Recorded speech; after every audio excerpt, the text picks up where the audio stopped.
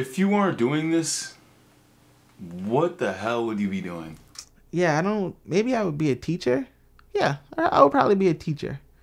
Maybe and I could still be a teacher if I wasn't doing this. But I don't like the term like if you can't do teach.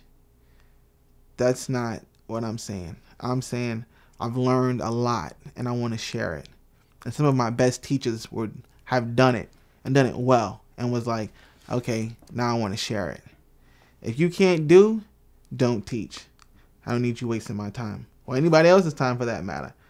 So, you know, I feel like I have I've learned a lot and um I'm an open book. So people call me, email me all the time.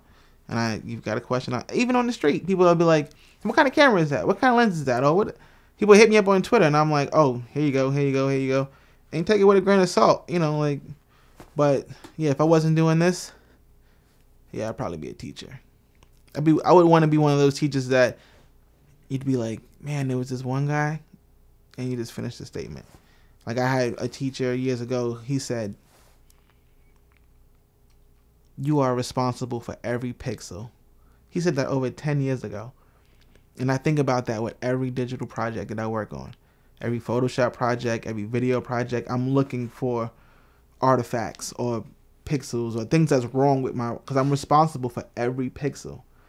So I would want to be that guy. I would want to be that teacher that says things that resonate with you and that help you improve your skill set or your lifestyle because that's one of the jewels that they mined in their career and they shared it with you.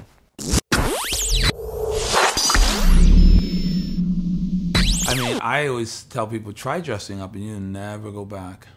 I'm like, you will never go back. Wear a nice pair of slack, you'll never go back.